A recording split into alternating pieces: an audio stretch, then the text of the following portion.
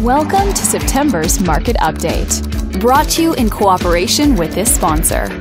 Let's take a look at residential real estate activity in your area during the month of August. The number of active listings was down 17% from one year earlier and down 1% from the previous month. This smaller inventory means that buyers who waited to buy may have had a smaller selection to choose from. As you can see, the median listing price for the month was just under $530,000. Compared to last year, the average number of days that units spent on the market before being sold was down 1%. This lower number of days may signal a positive trend in the local inventory turnover rate.